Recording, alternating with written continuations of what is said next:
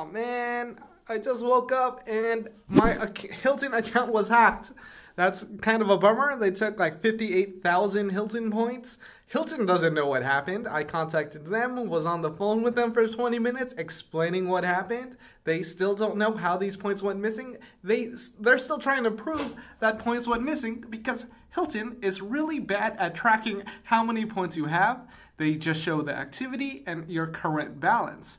Now, I only know my points went down because AwardWallet tracks your point history, how much you had, where it went, and you know if it went up or down, and like what months. So, awardwallet.com, not really plugging them, but they really saved my butt here to tell me that hey, I was hacked.